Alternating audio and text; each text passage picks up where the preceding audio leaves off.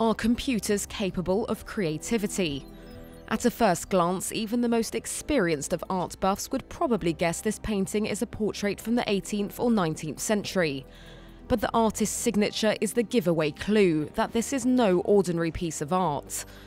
An algorithm formula of a software that was fed 15,000 paintings from the 14th to 20th century in order to recognise the visual elements of fine art. There are, of course, humans behind the technology. A French art collective mixing together individual creativity and artificial intelligence. We are the artists because no matter what, it was our intention to create the image, not the algorithms.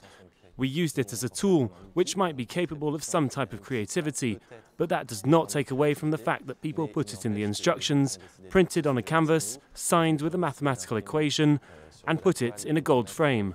The portrait of Edmond Belamy is making waves in the art world. It is the first piece of art created by an algorithm to be auctioned, going for 380,000 euros, nearly 45 times higher than its estimate.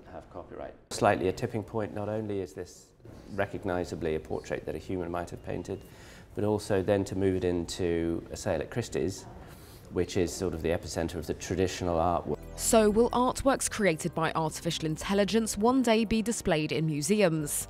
Computers creating art is not a new concept. In 2016, artificial intelligence produced the next Rembrandt, which looks unmistakably like a portrait painted by the Dutch artist himself. But whether an algorithm can ever be considered as a true artist remains a controversial question.